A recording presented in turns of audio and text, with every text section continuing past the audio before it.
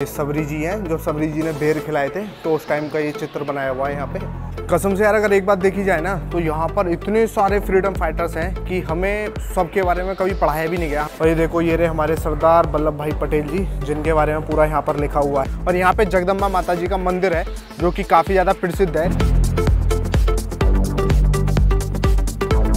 सही भाई जय श्री राम हर हर महादेव। नए व्लॉग में, नए सफ़र में, नए दिन में आप सभी का स्वागत है। अभी फ़िलहाल मैं रुका हुआ था नागपुर कोराड़ी में। कोराड़ी में एक माता जी का मंदिर है, जो कि काफ़ी ज़्यादा प्रसिद्ध है यहाँ पे। तो भाई आज इसका यहाँ पे म्यूज़ियम है। मैं आज ये विज़िट करने वाला हूँ।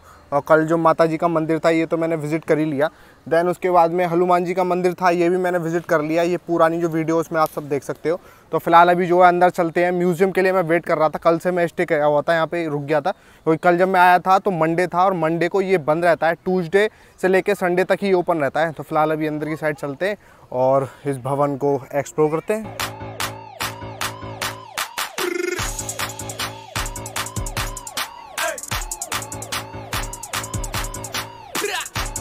ये यहीं से जाने का है ना पूरा? सो so, भाई फ़िलहाल अभी मैंने एक टिकट ले ली थी। ये मेरे को पड़ी है तीस रुपये की और भाई काफ़ी भव्य है और बहुत अच्छा लग रहा है मेरे को अंदर एंट्री लेते हुए। अभी फ़िलहाल शूज़ वगैरह सब उस साइड में उतार दिए और माता जी का जो मंदिर है वो मैंने आपको बताई दिया उस साइड में है। पीछे मैंने आपको दिखाया था ना ये जगदम्बा माता जी का मंदिर है जो कि कोराड़ी में पड़ता है। और यहाँ से अगर आप जाओगे नागपुर के लिए तो नागपुर यहाँ से पंद्रह किलोमीटर दूरी पर पड़ता है। और फ़िलहाल अगर आप यहाँ पे मंडे को आना चाहते हो तो मंडे को प्लीज़ मत आना, क्योंकि मंडे को ही बंद रहता है। ट्यूसडे से लेकर संडे तक ही ओपन रहता है, सुबह ग्यारह बजे से लेकर शाम को सात बजे तक। तो ये आप ज़रूर याद रखना। और यहाँ का जो टिकट है, वो मात्र तीस रुपये का टिकट आपको लगेगा। अगर आप यहाँ पे खाना भी खाना चाहते हो तो जहाँ पे माता जी का मंदिर है, वहाँ पे सिर्फ़ पचास रुपये में आपको थाली प्रोवाइड हो जाती है। वो भी बहुत अच्छी। सो so भाई, देखो एंट्रेंस पे बिल्कुल एंट्री लेते के साथ ही यहाँ गणेश जी की मूर्ति रखी हुई है। और भाई, कितनी प्यारी बनाई हुई है। बिल्कुल ऐसे लग रही है जैसे लाइक सोने की बनी हुई हो। और यहाँ पे भी अगर आप देखोगे तो यहाँ पे भी मूर्ति रखी हुई है। और यहाँ पर देखो आप स्वागतम, हनुमान जी, जय श्री राम। देख रहे हो कितनी प्यारी जगह बनाई हुई है भाई। लिटरली फ़र्स्ट टाइम आया हूँ मैं यहाँ पे। और देखो, मूर्तियाँ कितनी ऐसा लग रही है जैसे बिल्कुल सोने की हुई है यहाँ पर मैं आपको बता देना चाहता हूँ, ये जिस अभी जगह पर मैं खड़ा हुआ हूँ ना, यहाँ पे पूरी रामायण लिखी हुई है। और देन उसके जो चित्र होते हैं ना, चित्र के द्वारा उसको दिखाया गया है कि कैसे कैसे क्या क्या हुआ था। तो स्टार्टिंग पॉइंट जो है, इसका स्टार्टिंग पॉइंट यहाँ से हो जाएगा। ये देख सकते हो आप, यहाँ पर लिखा हुआ भी है, ठीक है? वेलकम देन इसके बाद में यहाँ से पूरी रामायण की स्टार्टिंग है। और जितने भी आप चित्र देख रहे हो ना, सबके द्वारा समझाया गया है। और यहाँ पे इंग्लिश में लिखा हुआ है, हिंदी में भी लिखा हुआ है। और ये आप यहाँ पे अगर आना चाहते हो तो पूरा पढ़ भी सकते हो। और देन ये रामायण यहाँ से स्टार्टिंग हुई, ऐसे हुआ था, फिर उसके बाद में ऐसे हुआ था, फिर उसके बाद में इस तरह से हुआ, पूरा ऐसे करके ये फ़ोटो के द्वारा दर्शाया गया है सब कुछ। तो ऐसे करके यहाँ तक पूरे में आएँगे। फिर देन इसके बाद में हम आई की तरफ़ बढ़ेंगे।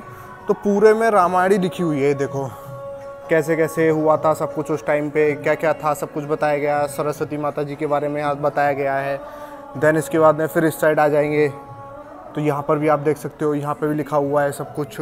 देखो, यहाँ पर भी देखो, यहाँ पर भी इस तरह से लिखा हुआ है। सब कुछ मतलब कि पूरा जितना भी है, पूरा डिटेल में लिखा गया है। और सबसे अच्छी बात यह है कि यहाँ पे चित्र बनाए हुए हैं तो जिससे और इंसान को समझने में बहुत ज़्यादा आसानी हो जाएगी।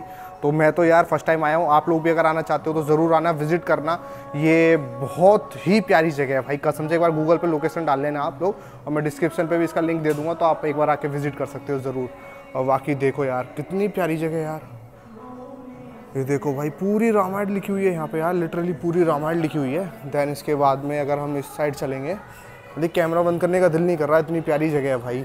पूरा ऐसा लग रहा है लाइक जैसे गोल्ड में बना हुआ हो पूरा सब कुछ। यहाँ पे भी अगर आप आओगे तो यहाँ पे भी देखो पूरी रामायण के चित्र बने हुए हैं। कैसे कैसे क्या क्या हुआ था ये देखो। भाई, कसम से यार, मैं लाइफ में फ़र्स्ट टाइम ये चीज़ एक्सपीरियंस कर रहा हूँ कि रामायण पूरे इस तरह से लिखी हुई है देन उसके बाद में फ़ोटो के द्वारा पूरा उसको शो किया गया है कि कैसे कैसे हुआ। सबरी जी हैं जो सबरी जी ने बेर खिलाए थे तो उस टाइम का ये चित्र बनाया हुआ है यहाँ पे।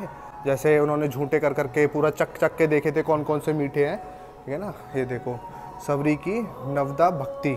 आप यहाँ पे आओगे ना तो आपका जाने का दिल नहीं करेगा, इतनी प्यारी जगह है ये। और कल से लिटरली लगा रहा हूँ, मैं कल से रुक गया था यहाँ पे वेट कर रहा था मैं, क्योंकि मेरे को किसी भाई ने बताया था कि वो आपको विज़िट करनी चाहिए जगह बहुत अच्छी है।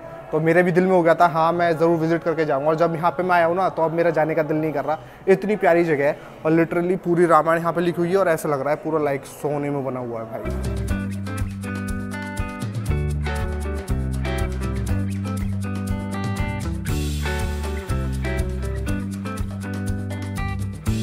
और देखो यहाँ पर दिखाया गया है, जब श्री राम जी की अंगूठी लेके हनुमान जी श्रीलंका गए थे ना, जब देखो वहाँ पे अंगूठी दे रहे हैं माता सीता जी को कि ये ऐसे ऐसे करके श्री राम जी ने भेजी है। देन उसके बाद में वापस आए थे। फिर उन्होंने बताया था राम जी को कि सीता जी ऐसे ऐसे हैं, इस तरह से उन्होंने पूरा इनको समझाया था। तो वो भी पूरा यहाँ पे देख रहे हो, कितना प्यारा बना हुआ है, एकदम पूरा लाइक फ़ोटो बना हुआ है यहाँ पे। उसके बाद में नीचे यहाँ पूरा उसमें लिखा हुआ है, तीन लैंग्वेज में यहाँ पर भी लिखा हुआ है, पूरा ऐसे ऐसे करके लिखा हुआ है। फिर उसके बाद में देखो कुछ इस तरह से सीन हुए थे। ये देखो, ये लंका का है। देखो, वहाँ पे रावण बैठा हुआ है। देखो, उसका बनाया हुआ है यहाँ पे। ये देखो, समुद्र में जब, जिस टाइम पे वो बनाने वाले थे ना पुल तो देखो, ये पुल है पूरा, और वो रही सामने लंका। और इस तरह से पूरा का पूरा पुल बनाया गया था, वानरों द्वारा। भाई, सेतु बंधन, भाई। कसम से भाई, पूरा का पूरा लिटरली लगा लो। पूरी पूरी रामायण यहाँ पे लिखी हुई है। वो भी इतने अच्छी तरीके से कि फ़ोटो के साथ में उसको बया किया गया है। तो बहुत अच्छी जगह है भाई ये देखो। पूरा का पूरा दिखाया हुआ है।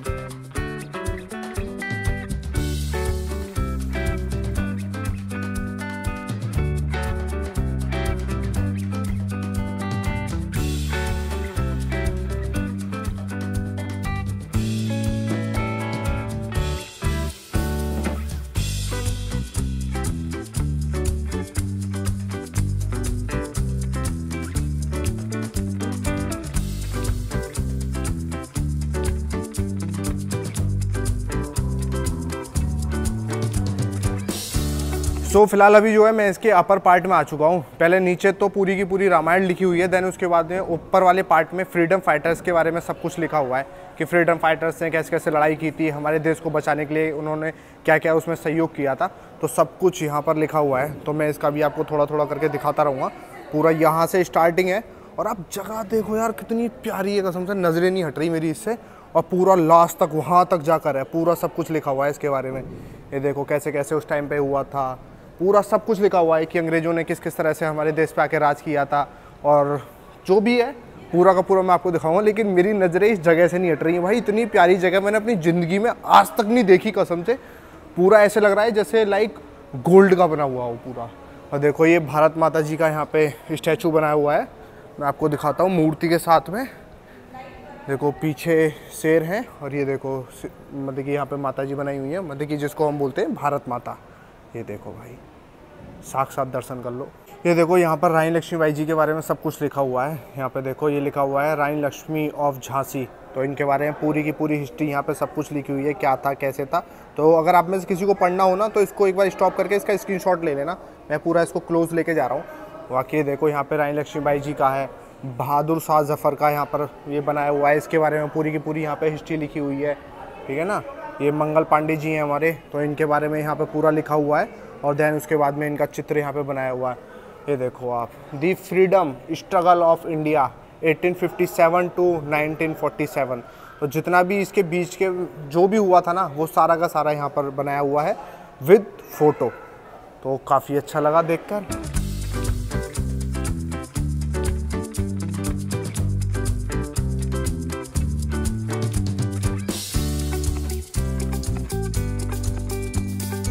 कसम से यार, अगर एक बात देखी जाए ना तो यहाँ पर इतने सारे फ्रीडम फाइटर्स हैं कि हमें सबके बारे में कभी पढ़ाया भी नहीं गया। हमें कुछ ही कुछ ही चीज़ें पढ़ाई गई हैं, जैसे मुग़ल के बारे में बताया। हमें जो है बाबर, अकबर कौन था, इनके बारे में पढ़ाया गया, अंग्रेज़ों के बारे में पढ़ाया गया। लेकिन कसम से अगर आपको ये एक्सपीरियंस करना है तो आप इस जगह पर ज़रूर आना। मेरे गूज बम्स आ गए। इतनी मतलब क्या कहूँ, इतनी अद्भुत जगह है। यहाँ पे हर एक फ्रीडम फाइटर्स के बारे में सब कुछ लिखा हुआ है। और देख लो, एक फ्रीडम फाइटर्स नहीं है। कितने सारे फ्रीडम फाइटर्स हैं।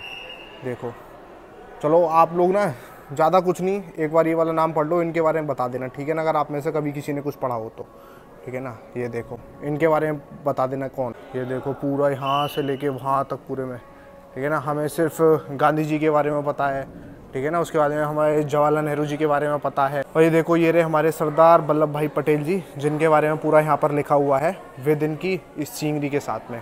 ठीक है ना? और मेरे को लगता है ये जो सींगरी जितनी भी हैं, ये हाथों से बनाई गई सींगरी है। कोई भी मशीन वाली नहीं है। जब भी इनमें जो है इतनी क्लियरिटी और इतनी अच्छी है ये। ये देखो भाई। देख रहे हो आप? ये देखो।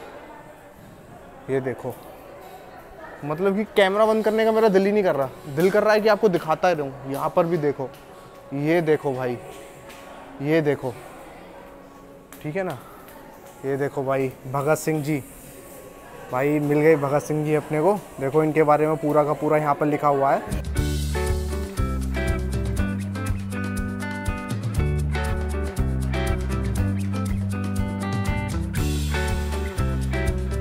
सो so, फाइनली भाई ये कुछ जगह थी जहाँ मैंने विज़िट किया। पूरा मेरे को काफ़ी ज़्यादा अच्छा लगा। देन इसके बाद में बाहर निकलने का रास्ता इस साइड से बाहर निकल जाएँगे। और यहाँ पर भी देखो मूर्तियाँ बनी हुई हैं।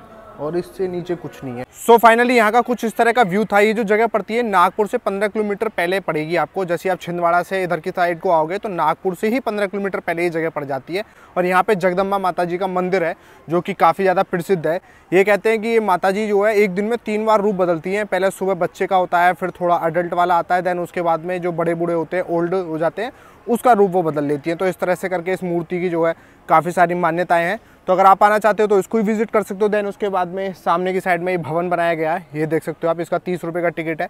और इसमें जो अगर पहले पार्ट में आप जाओगे तो पूरी की पूरी रामायण लिखी हुई है विद उसके फ़ोटो के साथ में जो इन्होंने बनाए हुए, वो भी हाथों से बनाए हुए हैं कि इस तरह से हुआ था तो इसका ये चित्र ये है। देन उसके बाद में जब आप ऊपर जाओगे देन उसमें वहाँ पे जितने भी हमारे फ्रीडम फाइटर्स थे, उन्होंने जो भी संघर्ष किया था, कैसे कैसे, क्या क्या हुआ था तो उसके बारे में उसकी पूरी हिस्ट्री लिखी हुई है।